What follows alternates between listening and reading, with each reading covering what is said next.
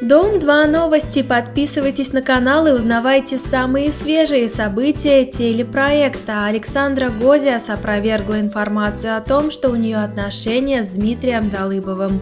Девушка написала «Ребят, у меня нет романа, нет отношений. Я девочка одинокая и не строю ни с кем отношения». Журнал Дом 2 задолбал распускать сплетни. Лиза Триандафилиди по-прежнему одна. Девушка не хочет вступать ни с кем в отношения. Как долго продлится одиночество Триандафилиди, пока непонятно, ведь она больше не хочет спешить с отношениями. С другой стороны, за это ее могут вообще выгнать на голосовании паре Романа и Марины случился конфликт. Рома собрался в ближайшее время лететь в Питер, а Марина, естественно, хочет с ним, но, к сожалению, с собой не берет, и это ее в корень не устраивает. Рома написал не беру я ее потому, что уже почти пять месяцев я не видел маму, и естественно, что я проведу все свое время с ней. А к знакомству с Мариной мама пока не готова, на то куча причин. Как минимум Марина будет первой девушкой, которую я познакомлю со своими родными, так что для меня эта ситуация, так сказать, диковинная.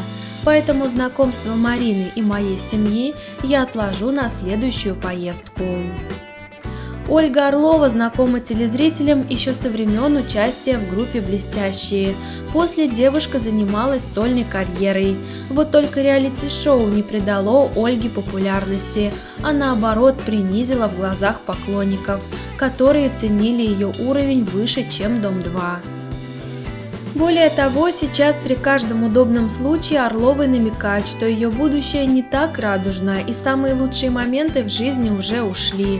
В сравнении с Бузовой Орлова уже прошла пик своей карьеры и катится вниз, а вот ее тезка Ольга только набирает обороты и уже превзошла своих коллег по проекту, набрав невиданную популярность. Интересная новость сайта Шлок. Иосиф Аганесян выдвинул условия для свадьбы с Сашей Черно. Парень заявил, пока у меня не будет фундамента и карьеры, о свадьбе я в принципе даже не буду задумываться. Мне нужно стабильно работать для того, чтобы содержать будущую семью.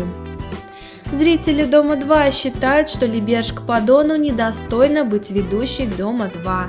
Все прекрасно помнят, как Либерш вела себя на проекте, когда была еще участницей. У девушки были серьезные проблемы с алкоголем.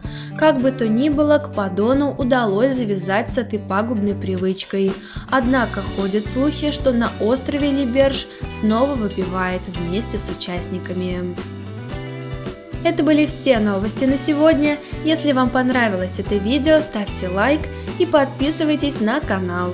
Следите за новостями и не пропустите новое видео, которое выйдет совсем скоро.